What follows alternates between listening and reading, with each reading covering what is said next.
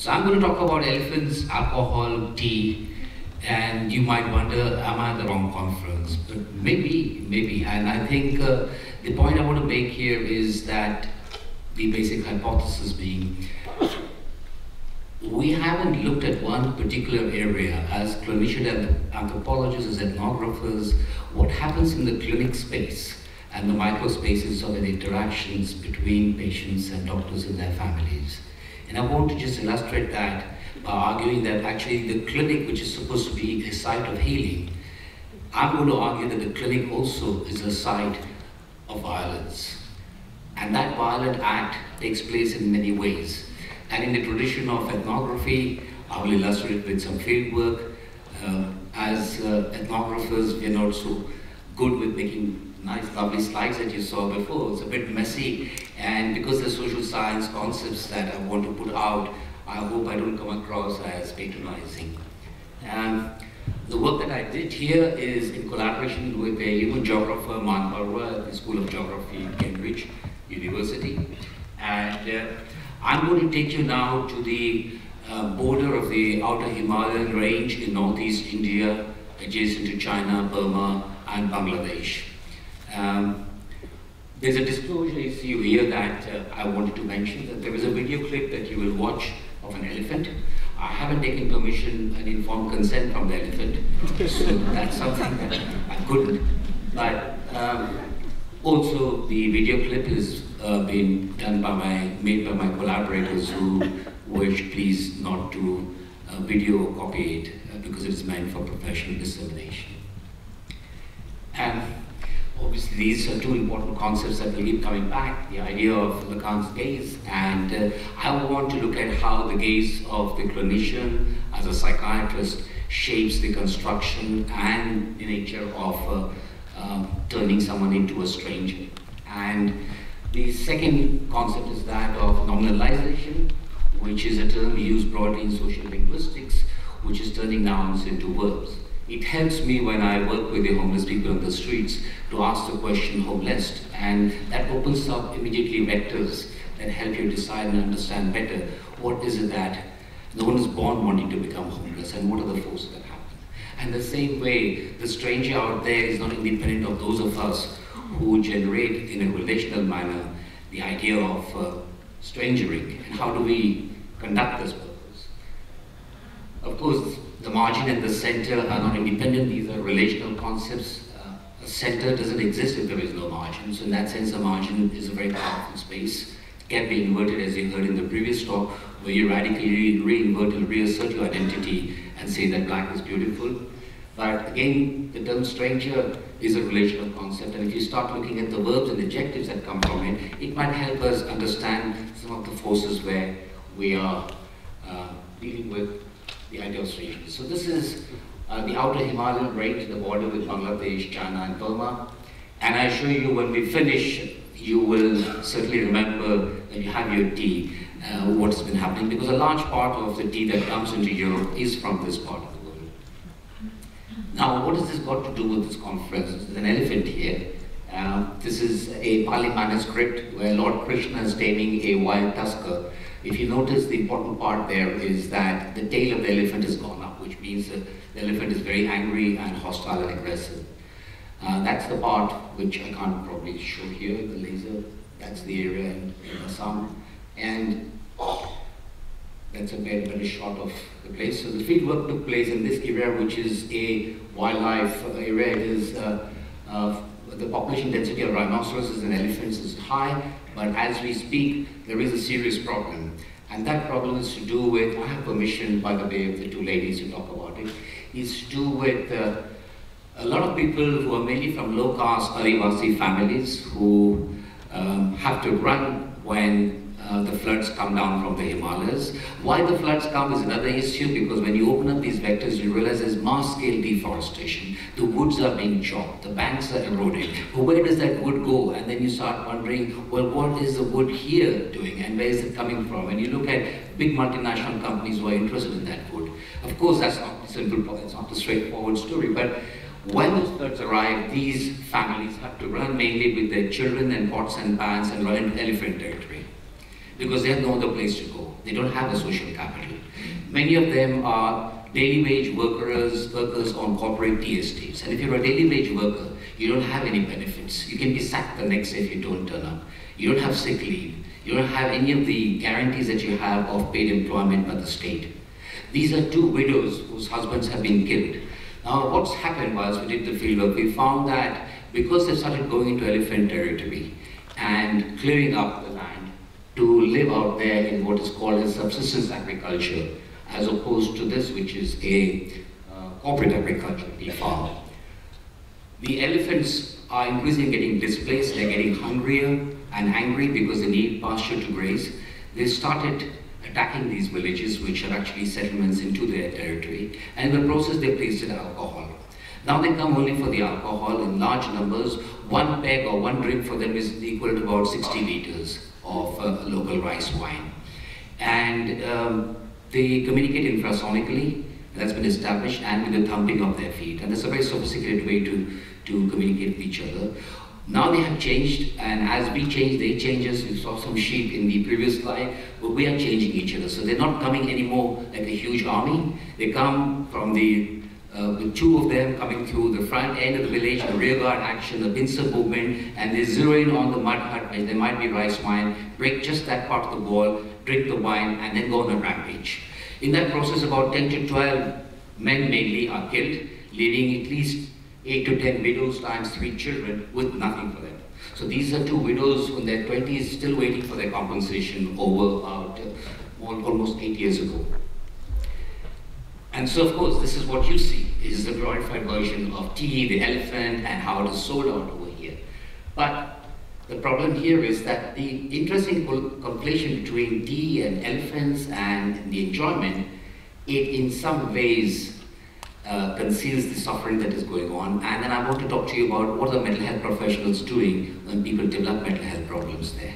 If I have time, I shall bring you back to London to show what is happening in the clinic there, where I ran an intensive care unit, and to give you an idea about the project of uh, the Pan Lexicon. That's my own neologism, which is an extension of uh, uh, the notion of uh, Jeremy Bentham's panopticon, because I think we need to pay attention to how doctors writing and inscribing about patient suffering is far more dangerous and serious and has laterally spread out to other disciplines, particularly psychiatric nurses who have lapped up that vocabulary. And the vocabulary is sanitized in such a way and cleaned up to suit the needs of the disciplines that work. So there's an economy around itself. In all of this, the patient's problem is not really, is forgotten could argue, I'll show you that. Um, so this is how the West glorifies the elephant that it has to be protected and the people have to be blamed. So everyone blames these poor people who go into elephant territory. My interest was in who's looking at the people's end. So the elephant has been glorified uh, by the media, and there you see Mowgli, you see elephants that were used at one time during the war, uh, when tanks came and replaced with the British, when they came in, they still had elephants uh, as part of the army. The forehead is important because that's how you knock down the doors of fortresses. Uh, and that's why when you go to any of the old forts, you will see uh, huge uh, spikes on it to prevent the elephants from breaking down the doors of forts.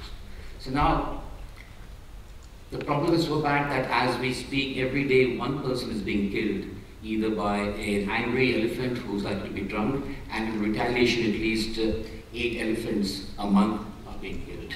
Remember the elephant is also an incarnation of an Indian god, Lord Ganesha, so there's a huge amount of guilt and ambivalence in trying to kill an elephant in retaliation.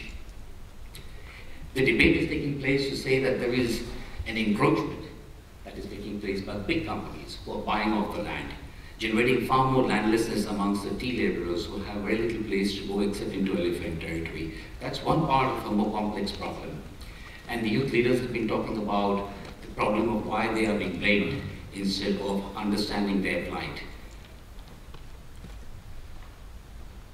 And that's the amount of compensation, the damage to crops. We haven't looked at the human cost, but I'm going to talk about the human cost. One of the problems result of that is that tea estate companies and corporate companies have started building fences, electric fences, but nothing is working. People have tried bees, they've tried fences, they've dug trenches. More people have fallen into the trenches and broken their limbs than elephants. They managed to navigate through the trenches as well. So this is a problem that is not going away, it's getting worse. These are the implications of the cost. The direct costs are very clear, loss of injury and damage, but they're the indirect costs. And I'm looking at the one which is from last, before the, the, the institutional costs, the hidden psychological costs. So people have to sit up all night guarding their crop fields. In the process, they're exposed to malaria, trypanosomiasis, leishmaniasis, um, and uh, they can't sleep in the daytime, they can't work because they haven't slept, they're tired. Um, children also take turns, they don't go to school in the daytime. Um, but in order to face the elephant who might come at night, they do sip a little bit of rice wine. And elephants can smell rice wine about a kilometer and a half away, which compounds the problem. But once they walk on their land, this subsistence agriculture is destroyed. So this family will have nothing for the whole year. That's it. You're finished. Yeah, you're hungry. That, there's nothing left for you. So you have to crop, guard the crop to make sure the elephant doesn't walk on it. These are the tea plantation workers. And the elephants who are getting electrocuted, they're being blamed for um, drinking, and the word illicit has been introduced now. It's not illicit, it's homegrown wine for these people who are tired all day. They grow their wine in their huts. But now the framing by the state and wildlife agencies is that this is illicit liquor. And that's why. So people are getting criminalized for their behavior and activity. And this is how they put out these media statements. The elephant was drawn to the illicit alcohol stored in the victim's hut. Nearby liquor attracts them. And these are the problems of how elephants are having a drink problem, and then as a result they end up killing. I talked about deforestation and how this is an important part, and these are the videos with whom I've been following up for the last few years uh, to see what is happening. It's not a simple, straightforward, linear narrative. There are many other events that take place. Property disputes when the husband dies, land disputes, uh, disputes with the in-laws, and various other problems that make things much more complicated. But the consequences of that are quite serious. This is a straightforward clinical assessment uh, to look at what happens to them. There's hardly any, hardly any service available. But in the process, no one died, but in the process an oil lantern fell over and within a few seconds the whole hut was set to fire. So they became homeless right away. They had nowhere to go. And um, the women were embarrassed, humiliated, with no clothes on that to borrow money at 20% interest rates from the local money lender. You can walk here with a credit card and buy a Mercedes with 8% collateral interest. But there you can't. You don't have a bank account. You're homeless, you're landless, you have nothing. You, and in, in that process of the hut burning down, Ramu's paper truck driving license got burnt. Now, from that position to negotiate the complex bureaucracy to get a driving license back again for someone in that situation is near impossible. You have to just go through so many hoops and loops, pay bribes, because it's a lucrative job. So he started getting withdrawn. They had to build a new hut. Father came back with whatever savings, but then he couldn't go back because he lost his job. And they built another house with the borrowings, they were in debt. And Ramu started getting withdrawn, then he became paranoid and he started suspecting that his wife was having an affair with someone in the village. And yet he became more irritable, more suspicious, he started smoking ganja and drinking, and he kept repeatedly saying, I want a job, I want a job. And he would hang around where the truck stopped, hoping that they would give him some job. But they wouldn't, and then it reached a point where one day he smashed the family bicycle. Now bicycle is the only form of transport there for these people. And if you smash that up, then that's would be more difficult. Incidentally, bicycles are not advertised on Indian television. It's cars and maybe motorcycles. I see the city here full of bicycles. It just occurred to me that bicycles are not advertised, but this is for them the only way to move about. So when that was happening, as he got more and more difficult in his behavior, uh, they had to get him, he wanted a job. He said, I want a job. And so the trucks where they stopped, they gave him the job of a helper to unload the lorries, the stationary lorries. And when he was unloading a lorry one day, he fell from the, the truck on the floor. Nothing happened much, but the family members and people in the village said, it's time you take him to a psychiatric hospital because this is going to get worse. You need to do something. So they take him to the psychiatric hospital. This fieldwork was based upon a collaboration with a human geographer, myself wearing two hats as an anthropologist and as a psychiatrist. So he's taken to a large mental hospital, which is a clone of the Maudsley Hospital in London. And you probably won't see because the writing is small, but what has happened is uh, First of all, the recording of the case notes for Rangu, which we tracked down his case notes, starts with disorganized behavior for 20 days following a fall from a truck accident. So as you notice, the narrative is reframed from a cultural one to an organic one. And then there is a whole discussion on head injury, loss of consciousness, no seizures. The preceding history of what happened with the family and the event, the loss of the driving, the, the elephants attacking, is just missing from that. So the narrative is shrunk, is changed from a cultural to an organic one, and then the language of suffering is inverted.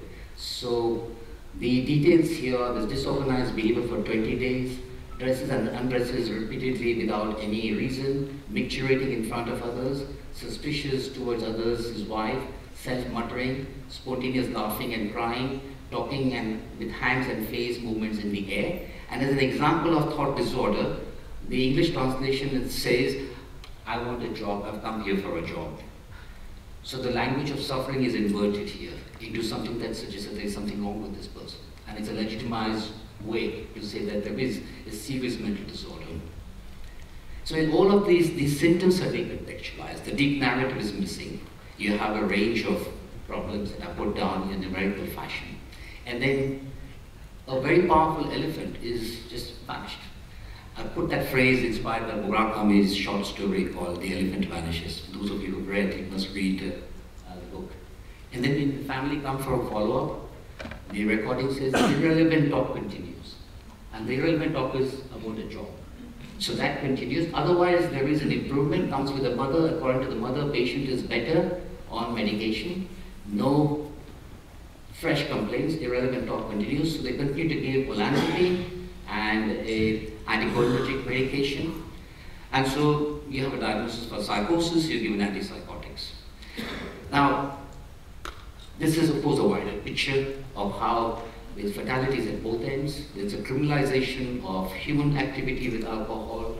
Elephants are now called as um, rogue elephants. So they have been criminalized. Um, in the words of one of the women whom I talked to, she said, we're not stupid. We have hungry stomachs, they have hungry stomachs. And this problem is not going to go away by blaming them or blaming us alone. I'm going to London now from there because I work on the streets. This is just an example of a church where I go to meet the homeless. And if you see here at the bottom, the city doesn't let you rest or sleep. And if you can't sleep for weeks and weeks and weeks, you're going to develop certain kind of psychiatric morbidity in addition to other problems that you have to deal with. But this is a church. The spikes here ensure that you can't sleep and you can't sleep anyway. And the thing is that if you look at the idea of horizontality, most of us like to be horizontal, but the homeless are not horizontal. Usually it is a neck this way, or slouch, or certain other ways in which you have to rest. But if you go to supermarkets at night, the alarms go off, so you're not allowed to sleep there. So if you're not allowed to sleep all night, then how do you manage? You have to look for drugs, you have to look for some other ways, refuge, and various things. But in anthropology, there is a, a thumb rule. What happens outside happens inside, and vice versa. So when people come into the clinic, they do bring what is happening in their conversations in the outside world, provided we are willing to listen. In the case of the elephant attack, um, I did share the story with the psychiatrist who had taken down the notes and I said, did you not know this? And their response was, well, the patient didn't tell us. So it's always blame them, you know, they didn't tell him. So uh, the question for me was that this is a huge problem going on. How come the clinicians involved, mental health clinicians, both there and in London, are disconnected from the cultural landscape in which they work. And what is it that happens? And so when I pushed for the inquiry, they said, well, we can record elephant-related problems because it's all around, but there is no header in our case notes to say something about elephants. And I said, why can't you make one up? And they said, no, this you can't. This you can't change. This is a template that comes from New Delhi, this comes from the WHO, and that is linked with the Maudsley. This, this can't change. So you're stuck in these, uh, this is a kind of structural violence where you repeat this template, you sanitize the language, you turn it into a way where you clean up what bothers people most because you don't want to deal or hear with that and you work out a new vocabulary. So This is just to give you an idea about the intensive care unit where I worked as a chief. Uh, this is, I call it the panopticon for surveillance because the doctors and nurses sit behind. Everything in the Goffmanian style is fixed to the floor. There's an airlock. Only people who are very suicidal or have hurt others seriously are brought in. But in the process of this lock wards and uh, locked cultures, I found that the staff have also locked their culture out when they come in. And that is an important point. And I don't have time to talk about a similar vignette here and what happened. Maybe um, over coffee, Dutch coffee or Dutch beer, and make it go Dutch. we talk more about it. But the case notes of extracts from this intensive care unit is not dissimilar from what you saw in the large psychiatric training facility in Northeast India. This is how the inscription takes place.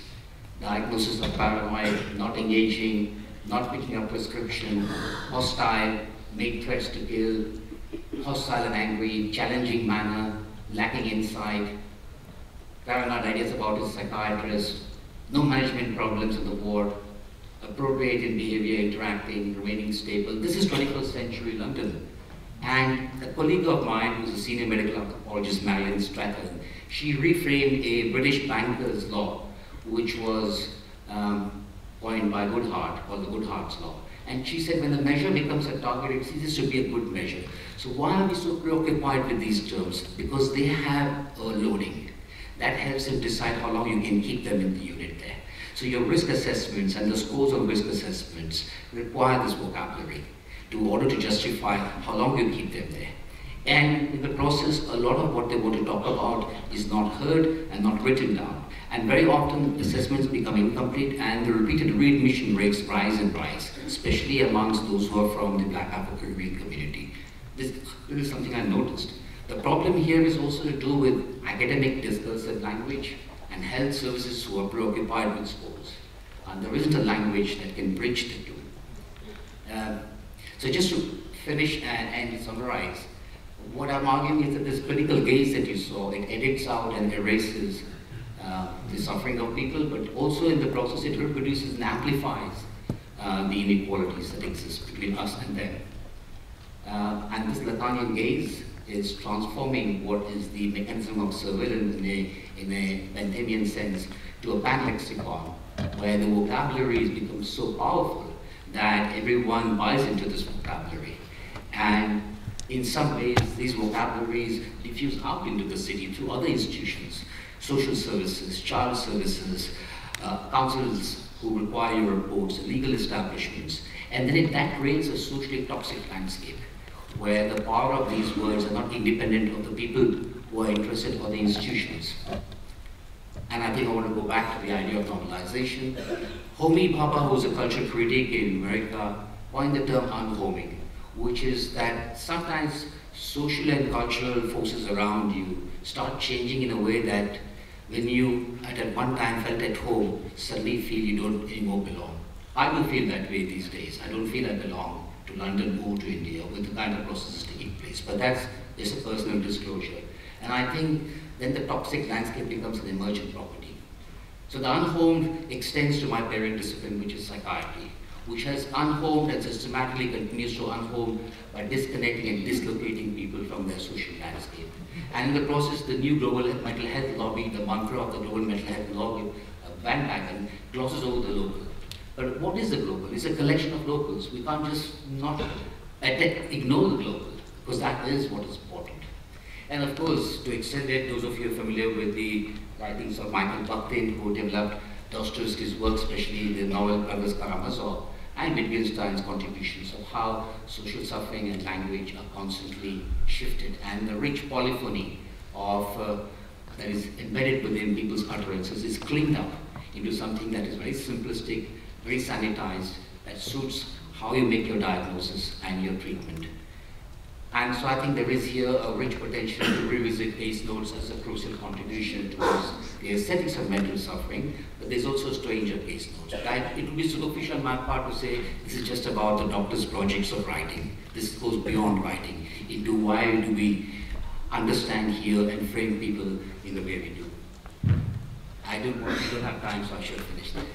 Thank you very much.